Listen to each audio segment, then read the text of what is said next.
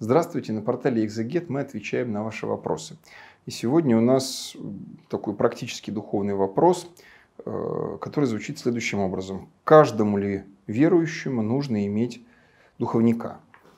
Э, простой ответ звучит так. Да, каждому верующему нужно иметь духовника.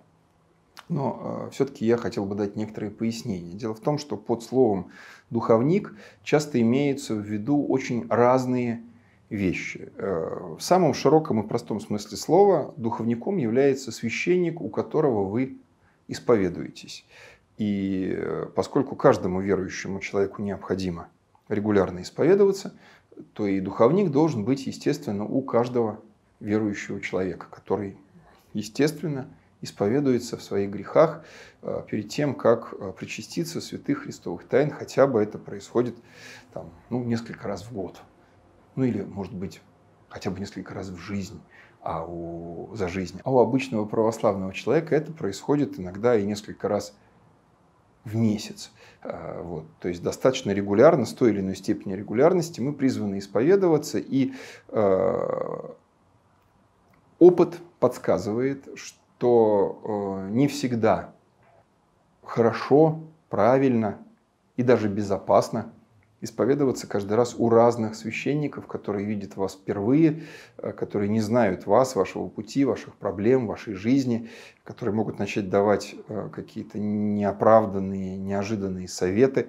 И мои знакомые, друзья, и прихожане, и дети мои регулярно сталкивались с такой ситуацией, когда, попадая э, в паломнической или поездке, или еще где-то к незнакомому священнику на исповедь, они сталкиваются с тем, что слышат какие-то оценочные суждения, какие-то советы, которые идут в разрез с тем укладом жизни, с тем обыкновением и устроением их жизни, молитвенного правила, постов, э, подготовки к причастию и многого другого, к чему они как бы годами привыкли и в какой жизнью они живут. поэтому естественно и нормально, что человек должен э, постепенно, входя в жизнь церкви, определиться с тем священником, у которого он будет регулярно исповедоваться, который будет давать ему э, какие-то полезные размышления, иногда наставления, которые будут ложиться на душу, не льстить его греховному какому-то состоянию, а именно помогать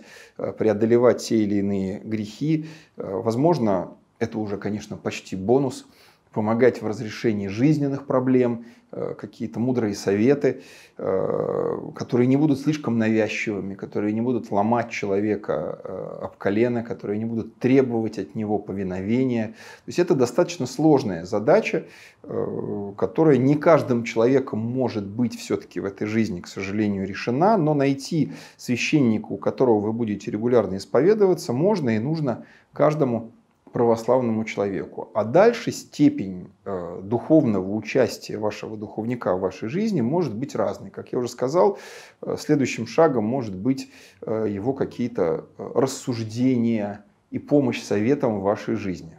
Не навязчивые, не требующие, не загоняющие вас в какое-то подобие тоталитарной секты, когда от вас требуют неукоснительного соблюдения того, что вам сказали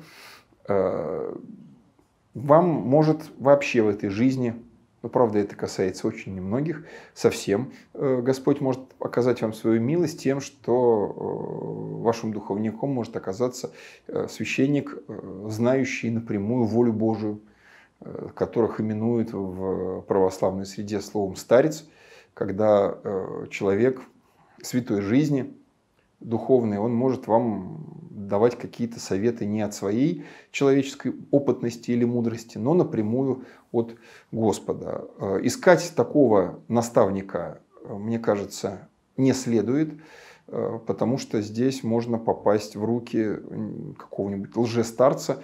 И напомню вам, что в, на рубеже 20 века, в 98 году, Архиерейский собор принял специальное решение, постановление о младостарчестве, полагающее границу э, для священника, запрещающее ему э, давать конкретные указания по поводу личной жизни, по поводу вступления в брак, по поводу выбора будущей или текущей э, специальности, работы и так далее. То есть это не задача и не функция священника руководить вашей жизнью, но давать вам какие-то мудрые духовные советы, если они действительно помогают вам в этой жизни, Э, такой человек может. И здесь тоже не каждый священник на это оказывается способен.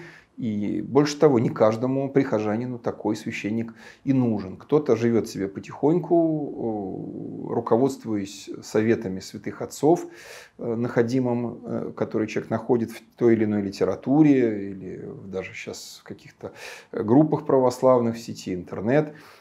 То есть другой вопрос, что человек должен Э, советоваться. Он должен так или иначе получать совет либо от живого человека, либо от э, священного писания, э, святых отцов, потому что священное писание ясно и конкретно говорит нам, что в книге Тавит, например, есть такие слова «не пренебрегай советом полезным». Или премудрый Сирах говорит «начало всякого дела размышления и прежде всякого действия совет».